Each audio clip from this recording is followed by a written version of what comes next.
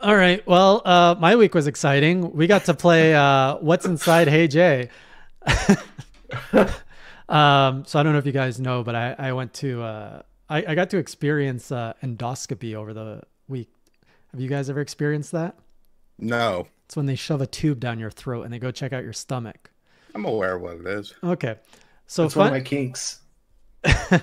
funny story. Uh, first nurse, they try to put um, the IV so that they can like knock me out.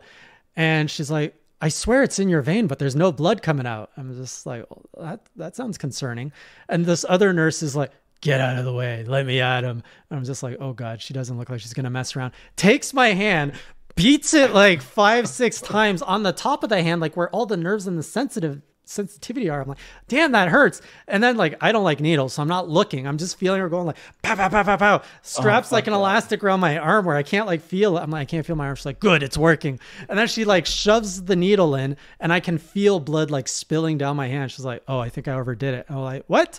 And she's like goes back and is like wiping on the floor and off the bed. Apparently there was blood everywhere. I wasn't looking. What the fuck? I'm just like, oh my Dude, god. I- I can I can stomach a lot of things, but if I look down at my own arm and saw blood, I swear to God, I would immediately pass out. So I don't know what I would do, and I didn't want to find out. So we're like, we're just gonna we're just gonna stare forward.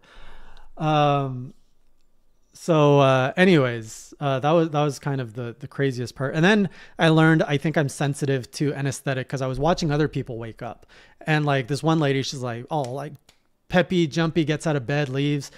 I don't even remember talking to the doctor after.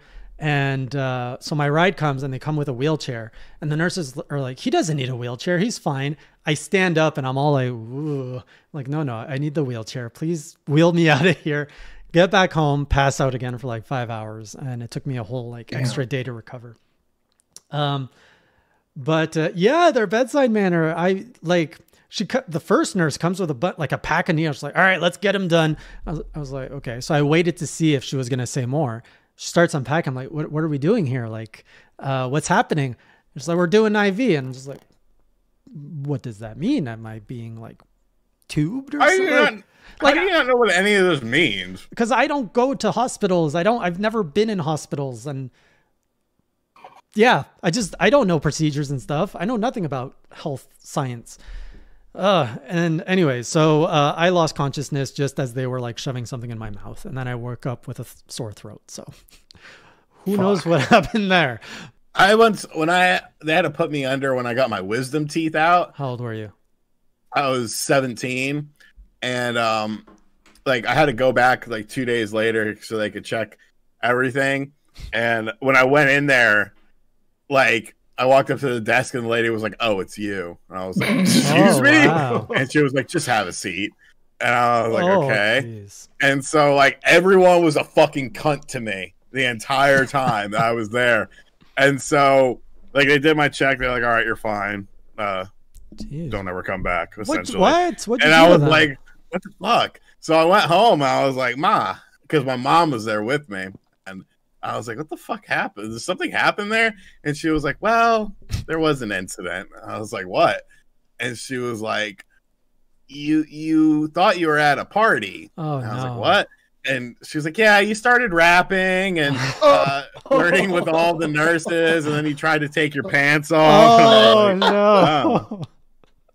And the funny thing was, my dad had gone there to have something done like six months prior, and my mom was sitting in the waiting room, and she just heard someone like screaming and like stuff flying all over the place.